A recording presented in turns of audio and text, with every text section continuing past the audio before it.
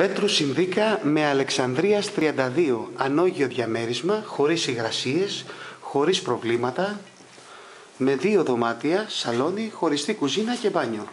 Θα τα συμμαζέψουμε τα πράγματα. Αυτό είναι μεγάλη δουλάπα. Έχει και εδώ μια δουλάπα και εδώ μια δουλάπα. Έχει δύο air condition inverter. Σαλόνι και αυτό με air condition και έχει και ένα σώμα ε, θερμοσυσσωρευτή. Έχει νυχτερινό ρεύμα το σπίτι. Ωραιότατο σαλονάκι.